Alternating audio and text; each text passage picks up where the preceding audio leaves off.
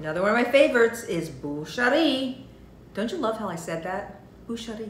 Well, I love French dining because they do really interesting things with food. Number one is the steak tartare. So if you want something healthy but you feel a little decadent, that's a great way to go. If you want to feel a little French, you could order the salad niçoise. I love this salad. It's light, it's delicious, it kind of hits all the paleo-ish buttons that I like.